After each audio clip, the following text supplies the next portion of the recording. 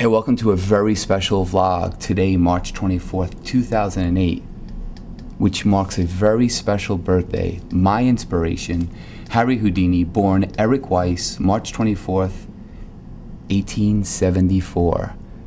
In honor of the great master, I wanted to let you guys in on a little secret. Coming up in a few weeks, April, I will announce the official name of the live show. Now, people have been asking me constantly.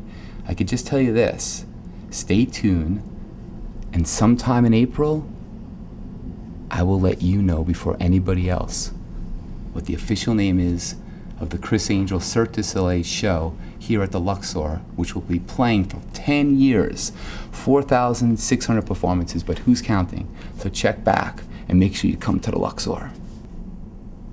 You know, really, fascinates me about and inspires me about Harry Houdini is that he was more than a magician or an escape artist.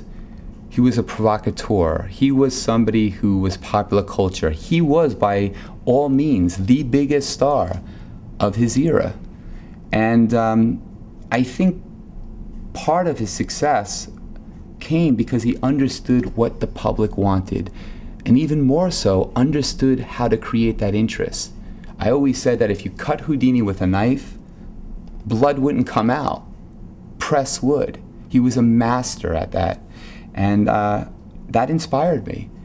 And I think when people come to see this show that we're doing here for the next 10 years with Cirque du Soleil here at the Luxor, they will see a show that, yeah, may get a lot of press, but we certainly have the goods to deliver an experience unlike anything the world of entertainment has ever seen.